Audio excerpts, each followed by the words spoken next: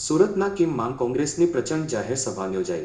કોંગ્રેસના ઉમેદવાર દર્શન નાયક માટે પૂર્વ મુખ્યમંત્રી શંકરસિંહ વાઘેલાએ માગ્યા મત. ગુજરાત વિધાનસભાની ચૂંટણી આ વખતે પ્રતિષ્ઠાની ચૂંટણી બની ગઈ છે. ત્યારે ઓલપાડ વિધાનસભા બેઠક પર પંદર ઉમેદવાર મેદાને છે. સાડા ચાર લાખ મતદારોને રીઝવવા ભાજપ કોંગ્રેસ આપ વચ્ચે ત્રિપાખીઓ જંગ ખેલાઈ રહ્યો છે. ત્યારે ઓલપાડના કિમ ગામે ભાજપ બાદ આજે કોંગ્રેસની જાહેર સભા યોજાઈ હતી. જેમાં ઓલપાડ કોંગ્રેસના ઉમેદવાર દર્શન નાયક અને માંગરોળ કોંગ્રેસના ઉમેદવાર અનિલ ચૌધરી માટે પૂર્વ ગુજરાતના મુખ્યમંત્રી અને કોંગ્રેસના દિગ્ગજ નેતા શંકરસિંહ વાઘેલાએ મત આપવા અપીલ કરી હતી.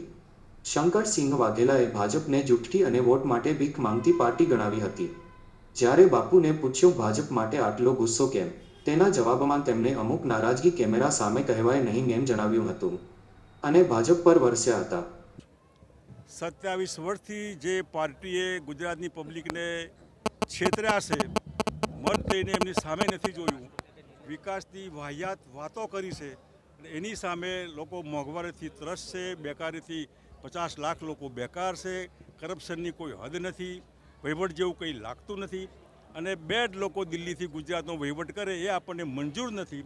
એટલા માટે મતદારોને વિનંતી કરવા આવ્યો છું કે મહેરબાની કરીને પહેલી અને પાંચ તારીખે આપ એક ભાજપ નહીં, સામે ગમે તે જ ના હોય ને ગમે તે એટલે ધ્રુવીકરણ કરીને કોંગ્રેસના જ ઉમેદવારને મત આપે, મતોનું વિભાજન ન થાય એવી વિનંતી કરવા આવ્યો છું.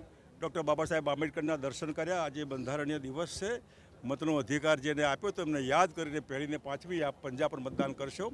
એ શબ્દો સાથે આપ સૌનો આભાર. Bureau report Jansakshi news Bardoli.